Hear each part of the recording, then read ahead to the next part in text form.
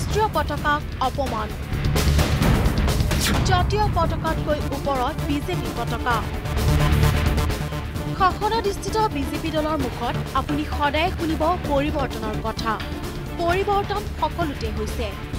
এইবাৰ ৰাষ্ট্ৰীয় পতাকাখনকেই অপমান কৰি কৰিলে আন এক পৰিৱৰ্তন।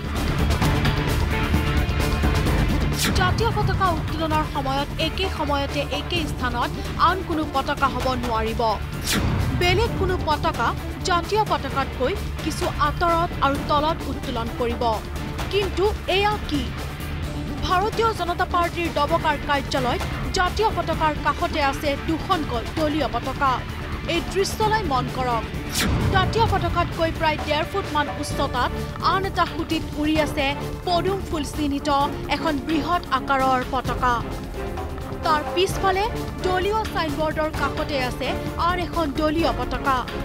এই দৃশ্যই শোভিত কৰিছে সমগ্ৰ দবকাবাসীৰ লগতে বিভিন্ন স্তৰৰ লোককো।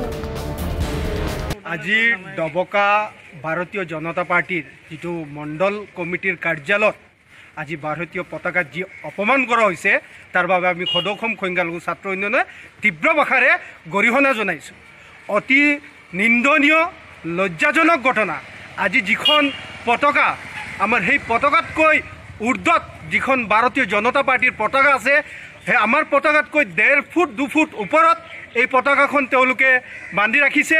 যেতিয়া ইয়াত সচেতন ৰাইজে মিডিয়াৰ বন্ধুসকলে গম পাইছিল অহাৰ পিছত দেখা গৈছে তেওঁলোকে ইয়াত স্থানীয় যি প্ৰশাসনীয় বিভাগত জনোৱা হৈছিল ইতিমধ্যে কোনো ইয়াত এই বিভাগীয় মানুহ উপস্থিত হোৱা নাই।